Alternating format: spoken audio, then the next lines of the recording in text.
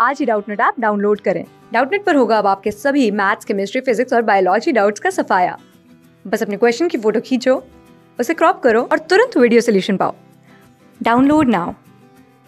Hello, so the given question is the opening and closing of stomata is regulated by कहते हैं कि stomata की opening and closing को कौन regulate करता है? तो स्टोमेटा क्या होता है? स्टोमेटा होते हैं टाइनी पोर्स टाइनी पोर्स जो लीव्स पे प्रेजेंट होते हैं। ठीक है? ये क्या करते हैं? ये गैशियस एक्सचेंज करते हैं।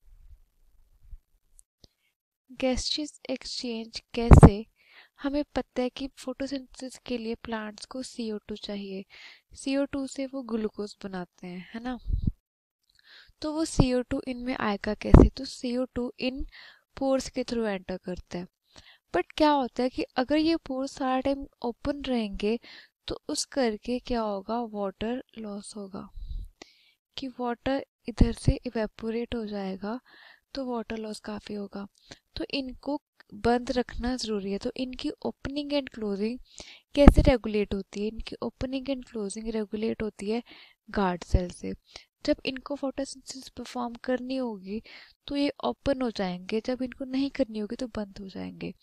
तो क्या होता है कि वाटर एंटर करता है। वाटर एंटर किया तो ये स्वेल कर गए। तो स्वेल करके ये ओपन अप हो जाते हैं, ठीक है?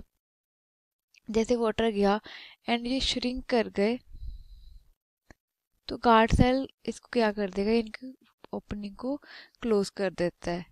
इधर स्वेलिंग होती है स्वेलिंग होगी तो वो खुल जाता है तो पोर भी खुल जाता है। इधर श्रिंक हो गया तो पोर भी बंद हो जाता है। सो so, इसका आंसर होगा guard cells I hope this clears your doubt thank you class six से ट्वेल्थ से लेके NEET I I T JEE mains और एडवांस के लेवल तक। दस मिलियन से ज़्यादा स्टूडेंट्स का भरोसा। आज ही डाउनलोड करें डाउट नेट आप या व्हाट्सअप कीजिए अपने डाउट्स आठ चार सौ चार सौ चार सौ पर।